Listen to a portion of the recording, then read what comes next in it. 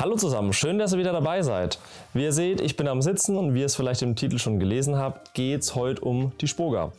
Für die Leute, die nicht wissen, was die Spoga ist, erkläre ich euch alles nach dem Intro. Viel Spaß beim Zusehen.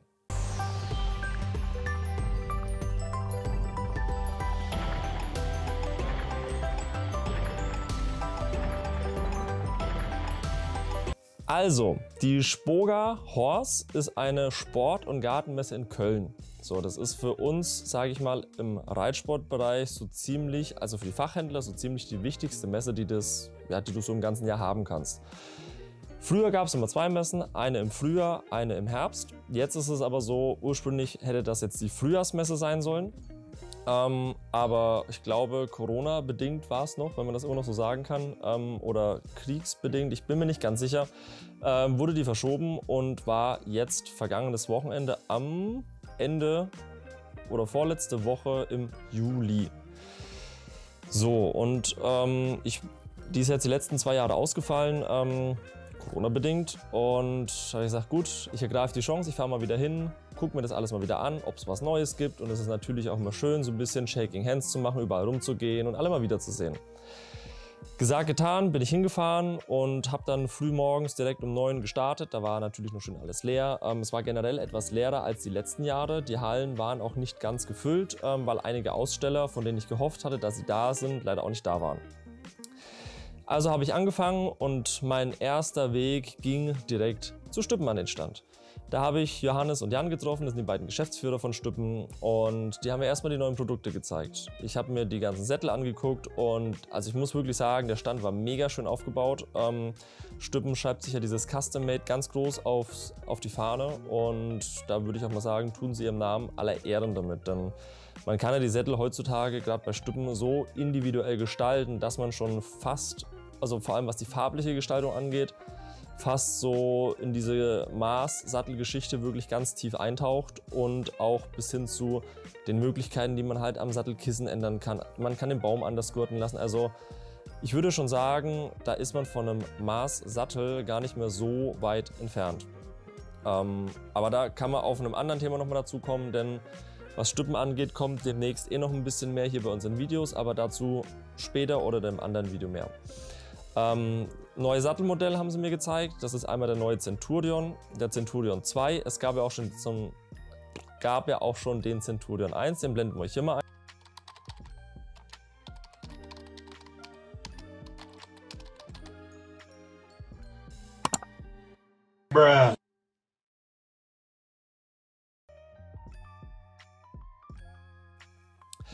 Centurion 1, ja, ich fand es ein bisschen unglücklich mit dem Sattel, weil äh, die Idee ganz cool, so ein Monoblattsattel vom, von Stüppen zu bauen als neues Modell, hat aber nicht so ganz funktioniert, weil die Konstruktion, so wie das gebaut war, mit der Pausche und dem Sattelblatt für viele einfach nicht so ideal war.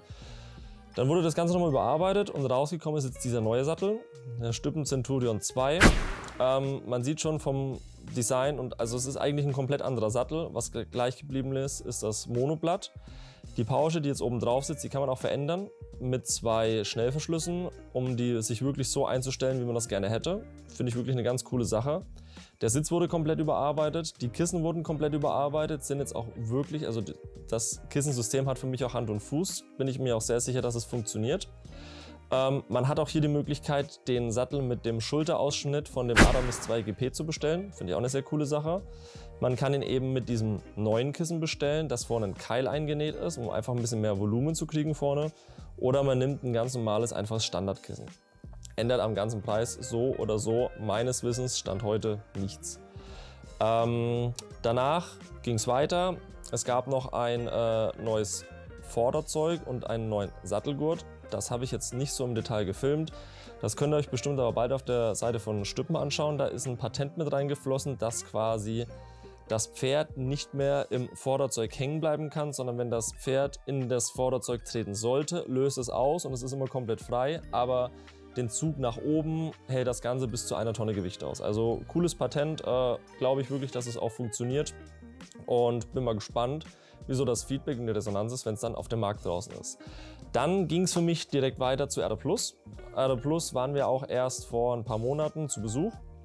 und, oder besser gesagt, ich war zu Besuch und habe mir das Ganze angeguckt und die haben jetzt auch ein neues Modell auf den Markt gebracht und zwar den Connect WR, also sprich Connect WR. Das ist mehr oder weniger optisch erstmal fast der gleiche Sattel wie vorher, außer dass wir so ein paar kleine Ziehelemente noch mit drin haben, die es vorher noch nicht gab und auch bei dem anderen Connect nicht äh, verfügbar sind. Der Sitz wurde nochmal etwas überarbeitet und das ganz besondere Key-Feature an diesem Teil ist, dass vorne ja, wie so eine Art Wings eingebaut worden sind. Also sprich, wenn man sich das vorstellt, Sattelbaum vorne, Sattelbaum hinten, da fängt das normalerweise hier an, geht hier hoch, geht hier hinter und geht hier hoch und ist maßgeblich für die Form des Sattelsitzes. So, normalerweise jeder Sattelbaum geht immer hier so hoch, hier rüber, hier ist so das Steigbügelschluss. So, und bei den R Plus, bei dem neuen Sattelbaum sind Wings eingebaut. Da ist quasi im vorderen Dreieck unterhalb vom Bügelschloss, also sprich Ortsende, Sattelbaumende bis ja so ein bisschen hinter das Bügelschloss ist quasi wie so ein Dreieck gespannt. Das Kissen wurde demnach noch überarbeitet bei dem Sattel und ähm, es wurden Tests durchgeführt. Also das Modell ist schon länger in Testung bei Erde Plus, ähm, dass bei mehr oder weniger allen Pferden, die mit dem neuen Sattel geritten worden sind, im Vergleich zum vorherigen Connect 25% weniger Druck im vorderen Bereich zustande kam. Jetzt würde ich sagen, das kann man nicht eins zu eins auf jedes Pferd ummünzen, aber es ist auf jeden Fall eine ganz interessante Technik.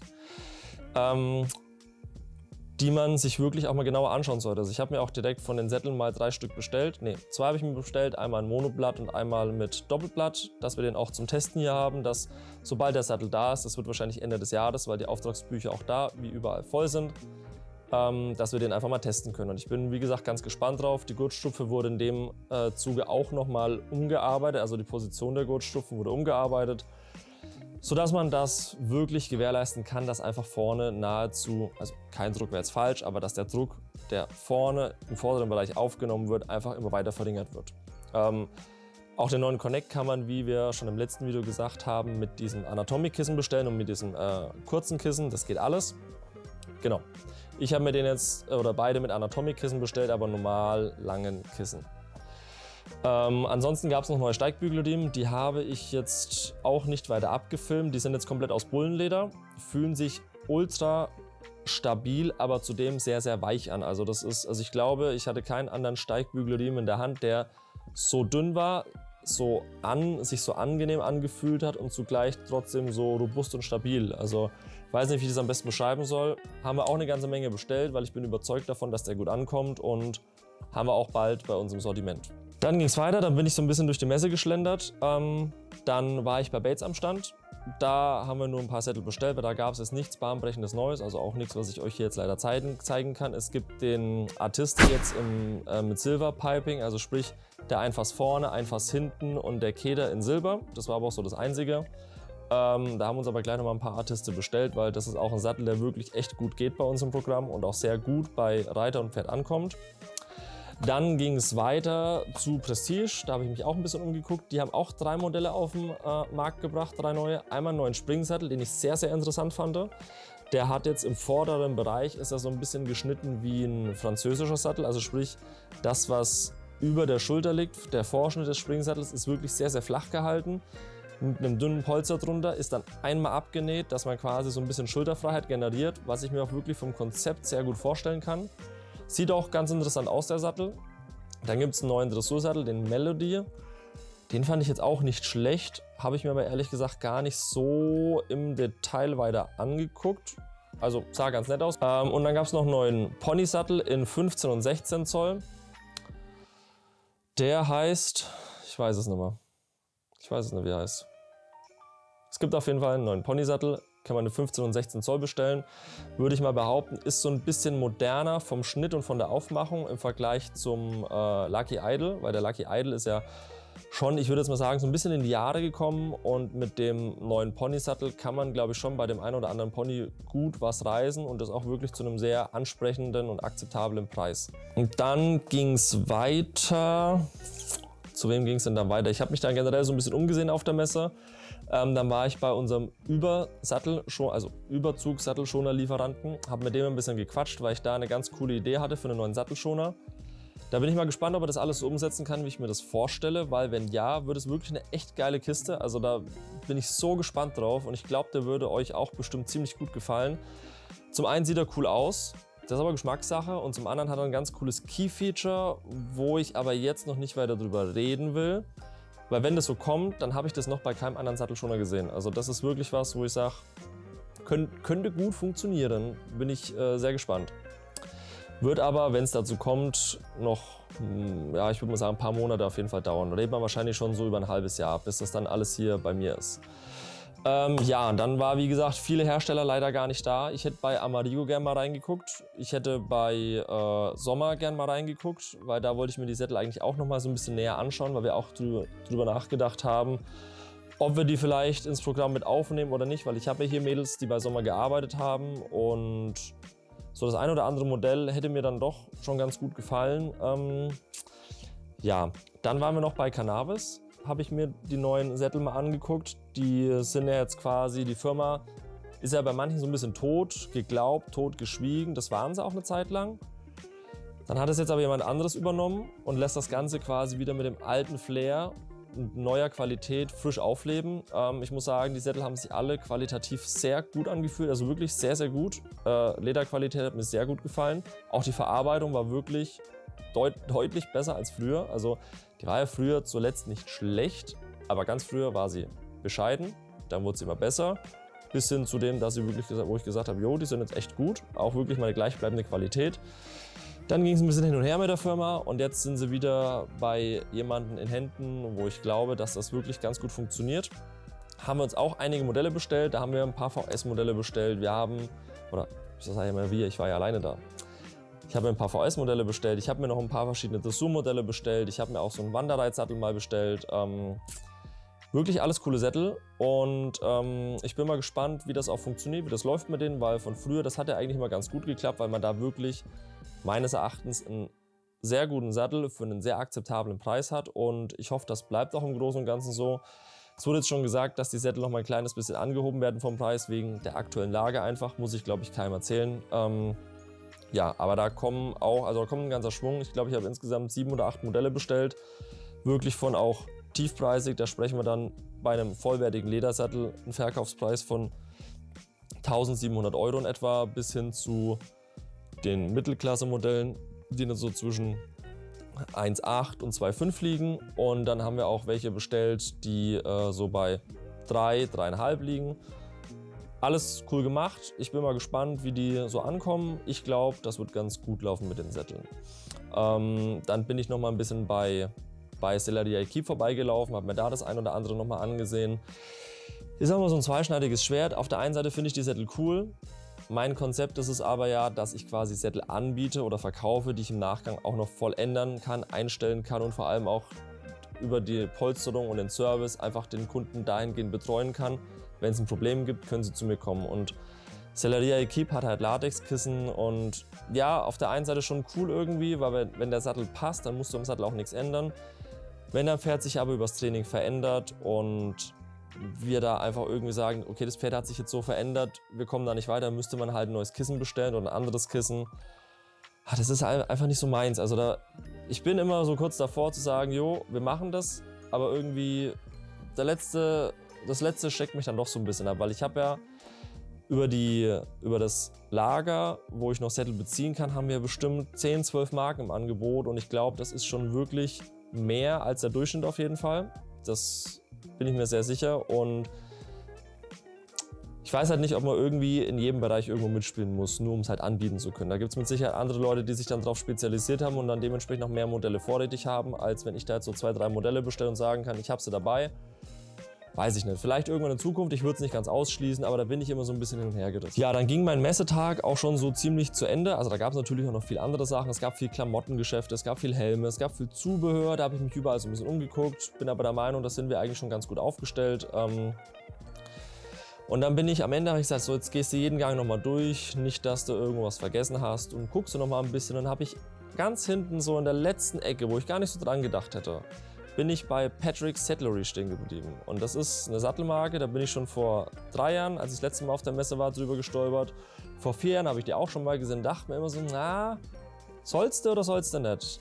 Und dadurch, dass wir einfach so ein Problem haben mit Albion, dass man die Kommunikation da schier gar nicht vorhanden ist, auf die Sättel teilweise ein halbes, dreiviertel Jahr und länger wartet und alles ein bisschen im Ungewissen ist und die Kommunikation nach Deutschland einfach unterirdisch bescheiden ist, ähm, was ich auch von Händlerkollegen mitbekommen habe, dass die alle wirklich echt leicht sauer sind, haben wir uns dann dazu entschieden, also ich beziehe Albion nicht direkt, ich beziehe das über eine Großlage, aber auch da laufen dann natürlich dementsprechend Bestellungen und das war zuletzt einfach ein bisschen schwierig.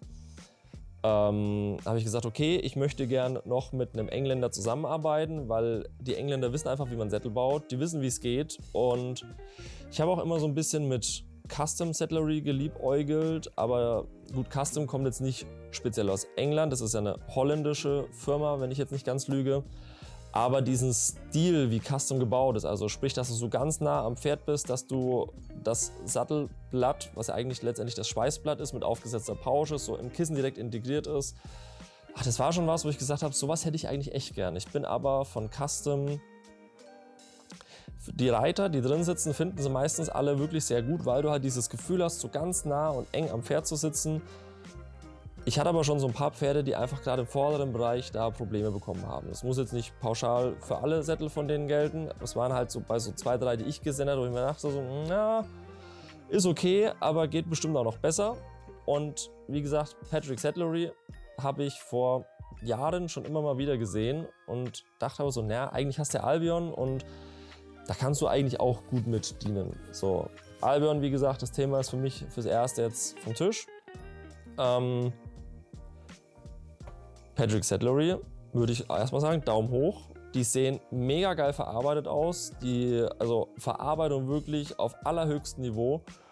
Haben schlussendlich drei Modelle, sieben verschiedene Sattelbäume. Also du kannst jeden dieser drei Sattelmodelle mit den verschiedenen Sattelbäumen kriegen kannst dementsprechend andere Kissen drunter haben, äh, kannst dir das Ding full customizen, kannst irgendwie aus fünf verschiedenen Ledersorten wählen, kannst dir den Sattel sogar voll auf Maß bauen lassen, also sprich, dass die Pauche komplett an deine Anatomie angepasst wird, so wie du es brauchst. Da gibt es dann quasi einen Mustersattel dafür, wo die Pauche drauf kommt und man anhand dessen bestellen kann. Lieferzeit auch echt gut, also hieß es irgendwie zwischen 12 und 14 Wochen. Ähm, habe ich mich reingesetzt in die Sättel habe mir ein bisschen was erklären lassen. Ähm, es gibt auch ultra viele verschiedene Pauschenblöcke, also verschiedene Pauschenblöcke, ganz viele.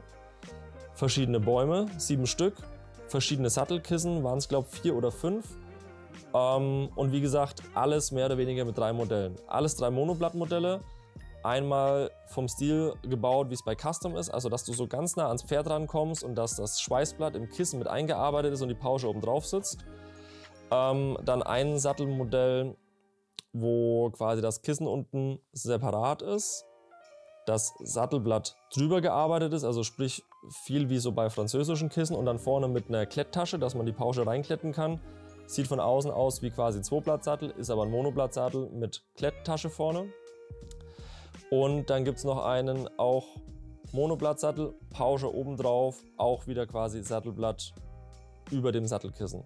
Dass du zwar auch nah am Pferd bist, aber nicht ganz so nah wie bei der anderen Variante. Bisschen gequatscht mit denen, haben uns auch gut verstanden, haben auch so in etwa in die gleiche Richtung gedacht, gesprochen und ich gesagt, gut, wir machen das. Ich habe mal zwei Sättel bestellt und da freue ich mich wie ein kleines Kind drauf, dass ich das noch gesehen habe, dass ich da wirklich nochmal gesagt habe, ich laufe überall nochmal durch. Und ich hätte schon gedacht, ich muss ohne Engländer nach Hause gehen, aber siehe da, wir haben einen gefunden und ich freue mich wirklich sehr drüber und ich kann es kaum abwarten. Und mit diesen Worten verabschiede ich mich auch vom Video. Ich bedanke euch fürs Zusehen. Hier unten ist euer Platz für Fragen, Kommentare, Anregungen. Tauscht, uns gern, tauscht euch gern mit uns aus. Ich freue mich drüber und dann sehen wir uns im nächsten Video wieder. Bis dahin, macht's gut. Ciao.